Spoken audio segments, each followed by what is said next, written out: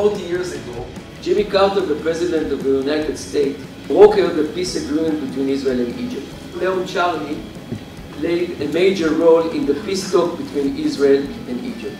It is our moral obligation to carry Leon's legacy forward and to complete what they started in Camp David. I wish you good luck, and ladies and gentlemen, let's negotiate.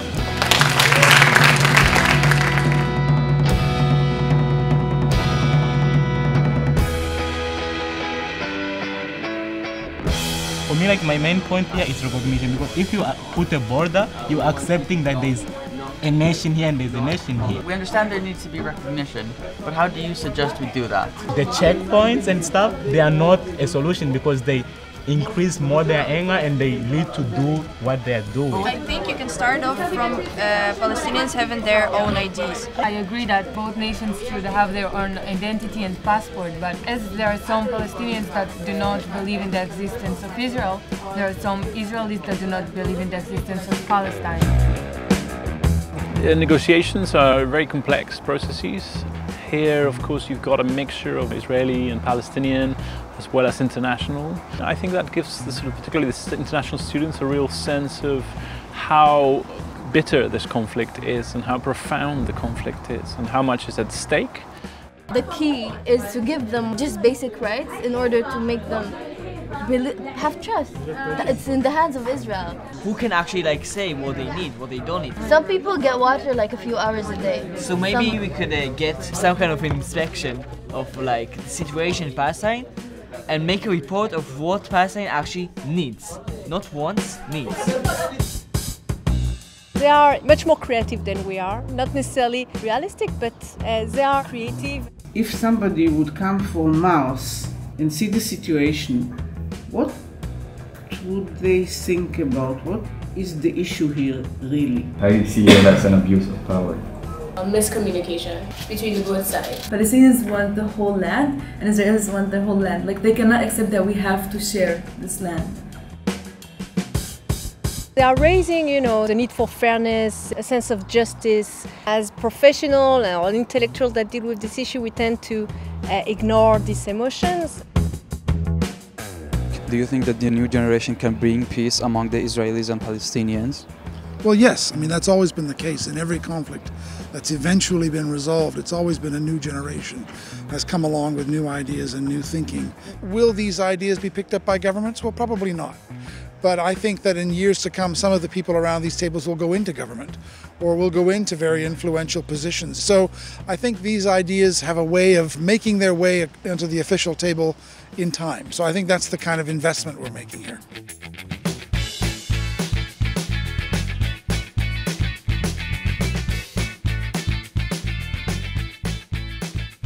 Here's the old city. Generally, it's divided to four quarters. The Muslim quarter up here, the Christian quarter, the Armenian quarter, and the Jewish quarter. When we talk about this issue, we talk about questions of sovereignty. If you start talking about who owns what, it's over. Because nobody will give away sovereignty over their most important religious sites. I think it's very important that the religious part of the city is completely separate from the political aspect of dealing with Jerusalem, meaning that no one has sovereignty. And it's very important to have a third party to, let's say, overview and work as a mediator between the two parties. The interaction with the students was very telling because despite their gap of perhaps some information and knowledge, their instincts are spot on. What about the Armenian part or the Christian part in the old city? They also have important places over there. Having a third party would actually make all of these nationalities or these cultures that have been overlooked for so many years be equal representation as the Islamic and the Jewish part. The international's involvement is actually better for our points of views because they have no biased opinions on it. They just have the knowledge with no experience on the conflict. I think the international students tend to approach this a little bit more rationally. They don't mm. bring the group emotion, you know, being part of the tribe, into the equation as much as the Israeli and Palestinian students. What kind of services you don't want to provide? When you build we'll a not provide water for you, We will not provide uh, yeah, right, when you, electricity. But what are the two-state solutions One of the things is sharing resources. One of the things. And having access both. Sharing resources doesn't mean that one side will be providing everything for you. I've never heard any of the Israelis' perspectives. I've been living in the West Bank with Palestinians only for 15 years, so it's kind of so weird and so, so interesting. It's really a very beautiful experience because most of the Palestinians don't talk to the other side and Israelis don't talk to Palestinians, but that's why we didn't solve the problem yet because we don't talk to each other. What we're trying to do here is create trust so that we can create peace. If you give us many more problems to solve because of this, then there is no trust, there is no peace. Okay, I agree.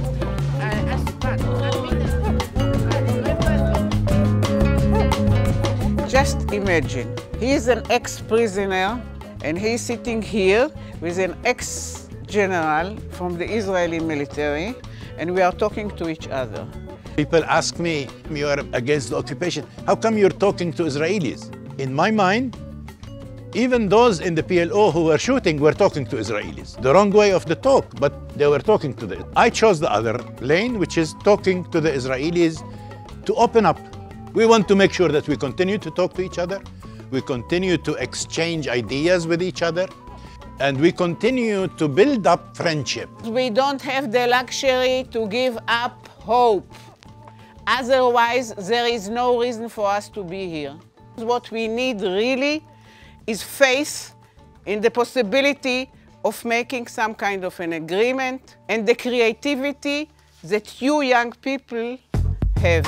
The students negotiated and negotiated, and towards the evening, they succeeded to conclude agreement on trust-building measures. First trust-building measure is that prisoners will get fair trial, and Israelis will hold a hostage back. Palestine agreed to stop building tunnels, reduce freedom fighter attacks.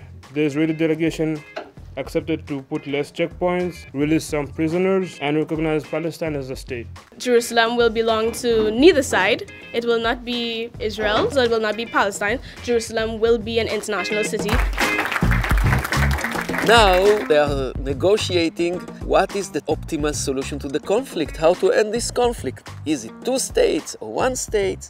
Let's see what happened. We are all excited and we are looking to see the agreements. That's not what's happening. We are, we are we are giving you an offer. This is We not offer an you offer. You want to get like the entire north. No, And it will no, not be given to you. We will be giving you like that and here you can get this. Do you know what's that? Do you know what's that? Is, is that a place that we can live in? Yeah. Yeah. No, take it. We don't want it. We don't okay, want it. so we're taking it. Take it. But we're taking the north. You take the south, we take the north. No, you are not Can you not take the south and the north? You say but It was so hard to divide the land and we had even some problems and like the debate become like harder when we start talking about the land and Jerusalem because like it means to us a lot and it means to the other side a lot. To find a way with making one mass of land with the sea Palestine agreed that there's going to be a, a border around Jerusalem with checkpoints on both sides. Who are the forces in the checkpoints in Jerusalem? It's going to be a mix of both of Israelis, Palestinian, and supervised by internationals. Okay. That sounds fair. That sounds fair? Yeah, that sounds yeah. fair. So there will be a border. Let it go, guys.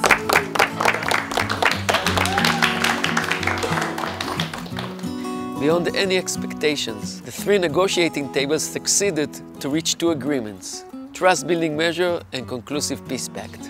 The delegation of Israel, together with the delegation of Palestine, decides to establish educational courses to both Palestinians and Israelis, promoting the idea of dialogue and the importance of peace. Being open to meaningful and fruitful discussion guided by the principle of mutual understanding and respectful dialogue. Is the obligation of Israel to provide economical aid as well basic resources as a trial period to Palestine use from those sources to create sovereignty and freedom as a state. There will be a border around the area of Jerusalem, and the checkpoints will be supervised by both Palestinians and Israelis with the supervision of internationals to make sure of equal treatment for both sides.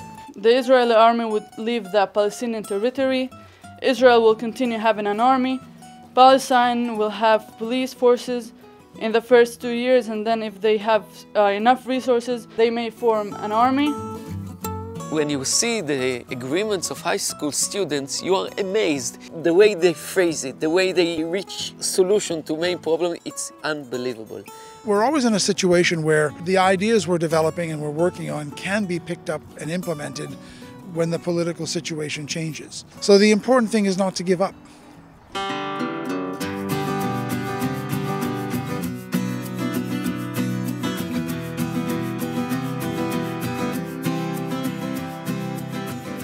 I think what we can take out of simulations is to understand each other, to understand how the conflict works at its core. And if you have these experiences, it makes it easier to work in the future on these issues. We're the new generation. New generation makes the future. New generation makes the peace. Why? Because new generation forgets whatever happened in the past between those people that destroyed their peace.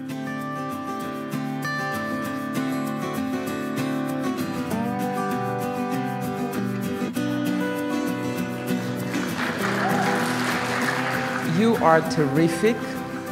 Every year I'm amazed how wonderful, smart, and gutsy you are. And it warms my heart to see you struggle. Uh, it's a big challenge, and you're really doing it very, very, very well in a very mature way. You're in an age that you can participate soon as voters, and uh, you can make a difference by choosing the right people, by choosing the right ideas, supporting the right people and right ideas. So this is only a beginning for you, and I hope you'll keep the flame going and going and never break.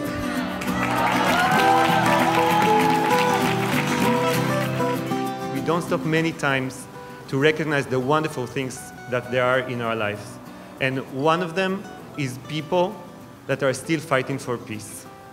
And let it be Tzili and the staff of the Charney Center and Sapir that is dedicating his uh, life to it, and also you. Thanks to Leon and Tzili, the Word has a better idea of what happened behind the scenes.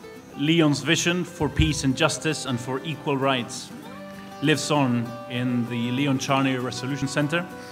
Leon's legacy will be realized in its fullest when Palestinians, Arabs, and Israelis can finally live in harmony.